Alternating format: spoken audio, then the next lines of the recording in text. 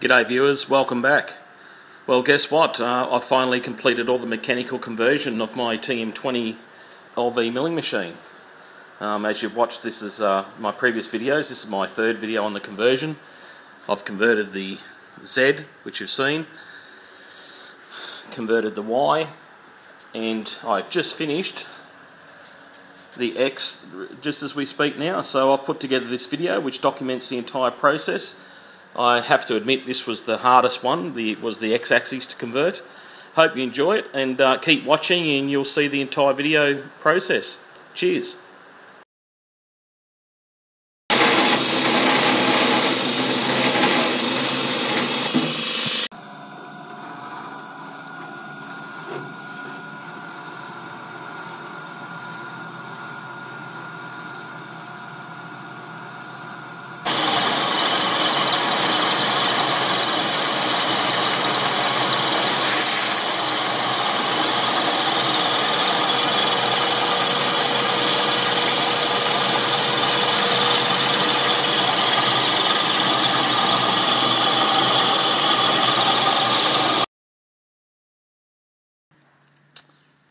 I'm currently making a, a, new nut to go on here.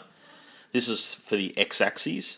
Um, so the original nut sat in there like so. I think it was that way around. And my new nut to replace it made of aluminium, but it's to go around the ball screw there to encapsulate that round part of the ball screw. Uh, to do this, I've cut a big chunk of aluminium out of some bar stock that I had. Uh, you know, just go to your local scrap merchant and grab some of that stuff. It's usually cheap sitting on their shelf. They charge you, you know, a couple of bucks for it.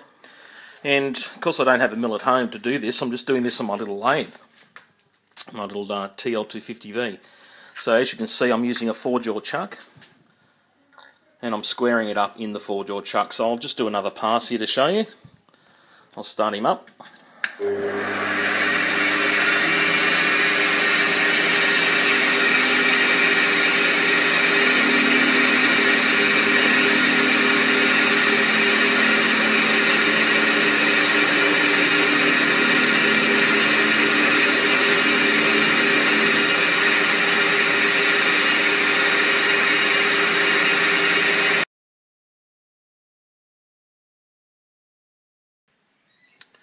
So I've squared the block up in all four corners here and uh, got it perfectly square. Um, I've marked my holes for where to bolt it down into the saddle. Um, you can see some scribed lines here. This is the way I've set it up in the four-jaw chuck. So currently I've centre drilled that and I've, then I pilot hold it and then I'm running uh, roughing through a 13mm drill bit now. And uh, here we go. Close the safety cover.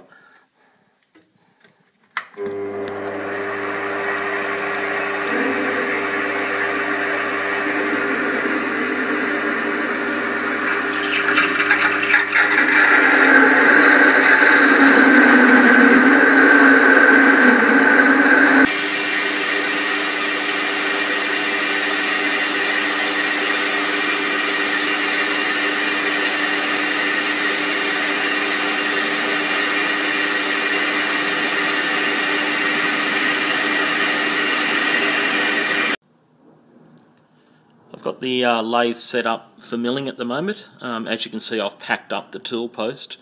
Uh, pretty rough really with an Allen key and feeler gauges and that sort of thing.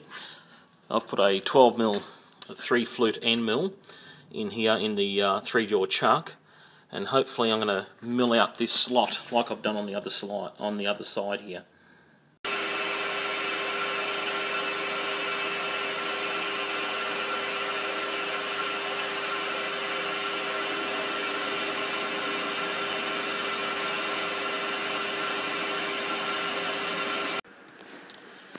Well, as you can see, I finished off the nut uh, here in my little lathe and uh, put it in. I did have to pack it about uh, 0.8 of a millimetre with a bit of a sheet with a bit of sheet metal just to lift that nut up a little bit. Um, here's the actual table, the X table. You can see that I've actually ground all this down with the grinder. Unfortunately, I couldn't grind it enough, so I'm going to take it to uh, my workplace tomorrow and actually mill that down a little bit more. I have decided though to reuse the end plates uh, especially one of the end plates for now. I might make a second new one later as time goes.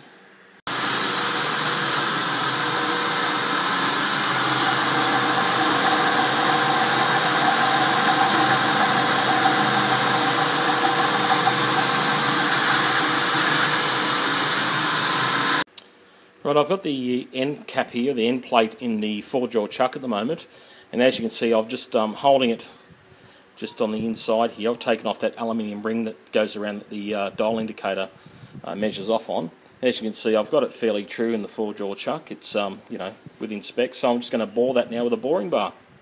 Just taking a really light cut. This is the actual uh, final cut for the bearing here. So I'm just taking it real, you know, very delicately. I'm nearly to size on the OD, and I, you know, I want to be careful here that the bearing doesn't fall in. I do it right.